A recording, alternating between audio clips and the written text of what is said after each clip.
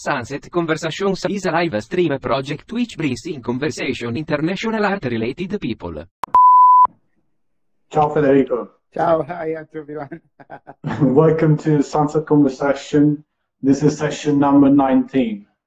And it is actually the first session that I'm speaking to a fellow Italian. Oh, wow. So you're first in the list. And in fact, I guess it's going to be quite entertaining for people to hear two Italians speaking English. And so they're going to have good fun. Are you ready? Yeah, I'm ready. And- Uh, we can also do a studio visit if you want, because uh, uh, today I. Absolutely, yeah. I mean, I want to see your studio for sure. And um, I just want to give a little introduction about you. Yeah, of course.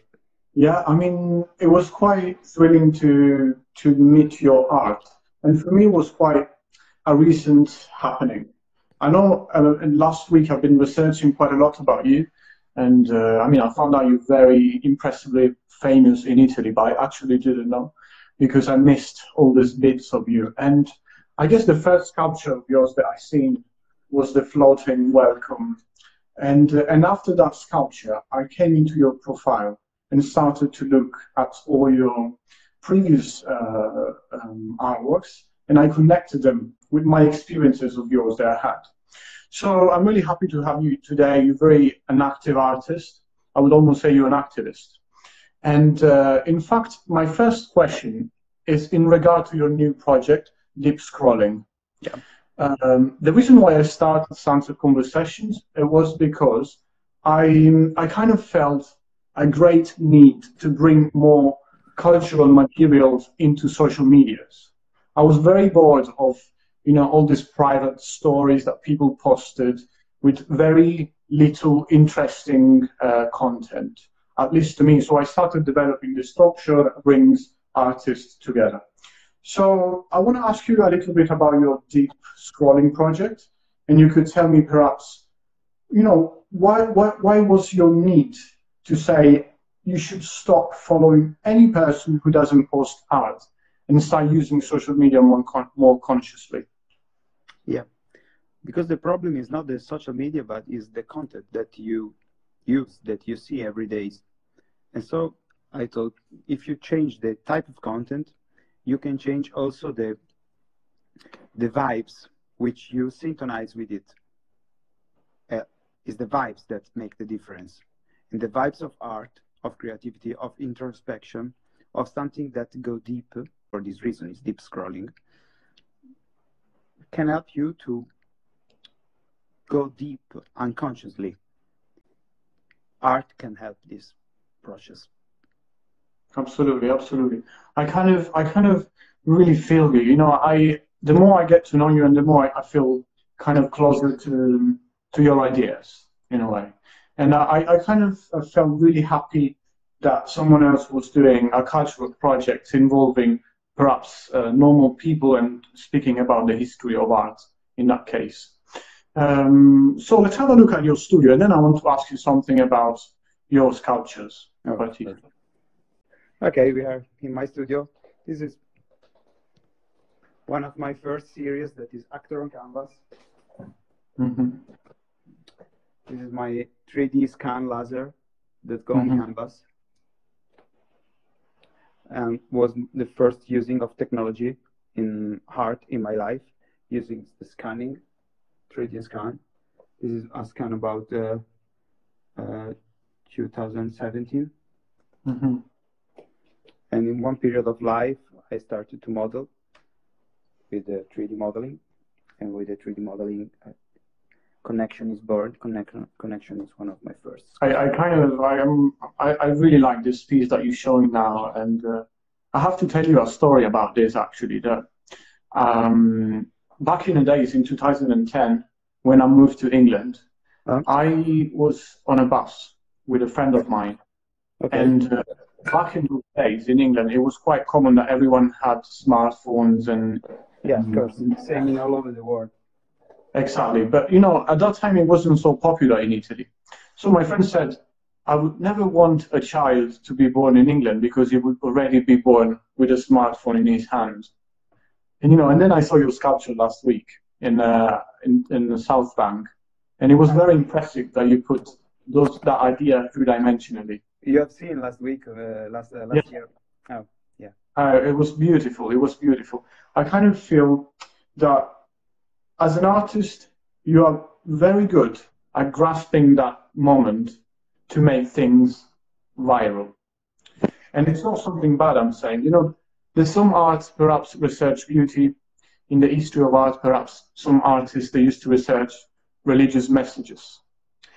And um, I could bring more example, but perhaps when art became a big commodity for the market, there are artists like Jeff Koons who perhaps designed uh, art only that would sell.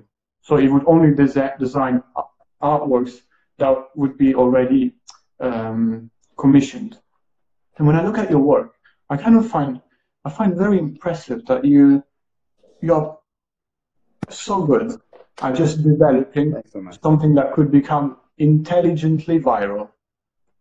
Yeah, because the viralism is the religion where I come from. I was born in this type of mentality. Uh, when I started to create my strategy to be a little bit famous in my country, Mm-hmm. uh, I started because I want to be famous a little bit in art. And so I started to create viral content that was not artistic content, but was only viral content. And so the viral is remaining in my in my blood. And Mhm. when I create something, sometimes uh, had to be viral. Sometimes not necessary. For example, I don't know. Uh, I show you. This is not a viral content, but I love it. Mm-hmm. This is not a viral content. But sometimes I have to create something that anybody can understand it. And, and Absolutely. anybody can vibes at some frequencies. And the frequencies are different for any single people, you know, as in art.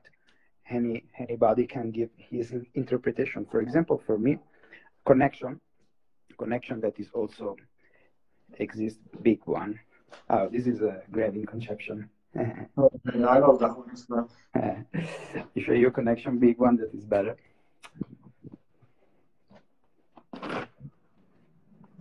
Grieving conception, I think, is quite a masterpiece. I have to say. This is a giant thing in resin. Uh-huh. Wow. Fantastic. And for me, it's not an, a negative uh, interpretation of technology. For me, it's another way. I, I, I create works that can be interpreted at many levels of consciousness. Of Mhm. consciousness. No, exactly. In fact, uh, mine the was. connection between mother and son, Mhm. for example. Yeah. And the technology is the metaphor that can catch the follower, that can catch the user, the attention of the user. And when the attention of the user is catched, maybe he can think about that uh, could be a provocatory, a provocatory um, message, but it's not also a provocatory message. It's something of more deep.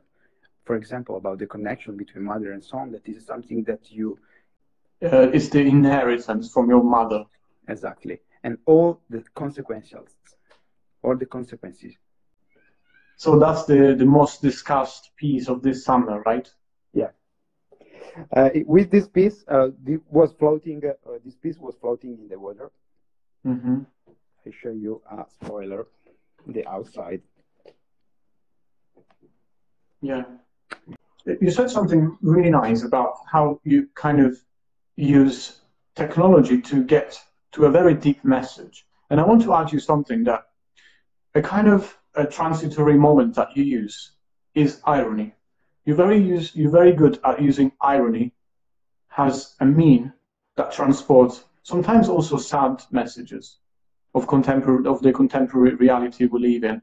And uh, now that you said, you know, that you started as a um, social media kind of character, I kind of, I can see how the things came together, the viralness, the irony of you yourself creating ironical contents, perhaps back in the days, and then you combine them together to create art pieces. And I, I read there was a time in which you decided, from now on, I'm going to stop creating just funny videos, and I'm going to use that energy to create art. Is that correct? Yeah, I decided to do it. it I yeah, I've done this one when um, I collapse my my um, attitude to the compromise was collapsed. When the compromise um, finished, started only art. So, four years ago, um, I say the goodbye to all the entertainment, and I start only to do art only because the compromise couldn't go on. Non poteva andare avanti. Il compromesso mm. between the compromise between mm, be appreciated, essere apprezzato, and uh, um, express myself. I mm-hmm. express totally myself. But some of my, my past is remained in my in my cells, nelle mie mm-hmm. cellule, and maybe come out in art. The irony, the viral attitude, sometimes. I hope. Yeah. And did you did you experience a, a change in audience when you do this kind of swap? Yeah, a little bit. There was uh, 50% of rechange, totally rechange mm-hmm. with the passing of the time, little by little. Fantastic. Yeah. I mean, uh, in fact, I wanted to ask you if that was connected to the kind of uh, psychological stress that perhaps all those videos were bringing to you. Yeah. And uh, you, you kind of active and you, you, you look like you're very good at exposing yourself uh, and your fragility and your appearance. And I wondered, how, how do you deal with, with the psychological stress indeed that comes into being a, a kind of social media character. Com'è rimasto lo stress psicologico? Uh, I'm going to explain that in Italian. Uh, quello che mi chiedo è come gestisci appunto lo stress di un personaggio uh, che è nato dai social media e doveva affrontare un, un, audience come fai tu, ponendosi senza barriere ma piuttosto anche esponendo la tua fragilità, la tua apparenza, senza magari eh, pimpandola, magari come in questo momento faccio io per esprimermi più a mio agio, ma sempre mostrandoti veramente vero. Ma uh, I think that is not a problem because only the fragile people can see the other fragile. So if you expose your fragile, only the same people can perceive it. To the other people, you are not exposing it. Mm-hmm. that's that's a pretty interesting concept. Eh? that's a pretty interesting concept. Yes, you you need to be in a certain frequency. Yeah. When people really think like Marina Abramovich that you kind of grasp the world according to frequencies. It depends on the frequencies you live in that you kind of experience the world. For example, he she appear fragile is plastic.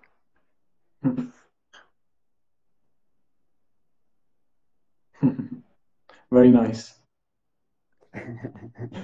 Do you have any other um, perhaps works that you never showed on Instagram? It's kind of some personal creative work. That I've never showed because it's personal, or that uh, I've never showed because because perhaps you, you kind of nowadays you want to attach to a certain aesthetic and you don't want to mix different uh, aesthetics online, perhaps. Or perhaps you, you're kind of afraid of it. You feel it wouldn't do well online, so you're kind of scared of posting it or something. I'm thinking about it. No, no, every time I try to, no, I sure, I, you, you get it right every time, right? I check it. No. Uh, no, every time when when one work is finished, I publish it. Um, mm-hmm for example, this is very personal for me. I want to very show you. Yeah, no, I, I really like it, to be this honest. This is very personal work. This is also very personal work. Very, very fucking personal work. All right. Nice. for example, on another very personal work is this one. Mm-hmm. Interesting. Mm. There are some of more intimate. Intimate is true. Yes. And something that is more open mm-hmm. like connection. Uh, this is also, me show you, this is, uh,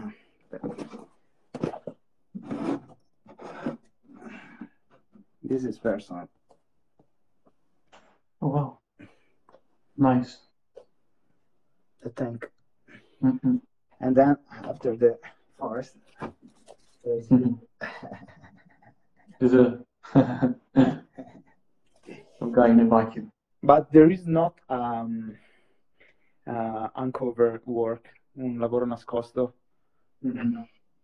But I can spoiler. I can spoiler. Yeah, exactly. You're kind of 93% over to your next project. So can you tell us something about it?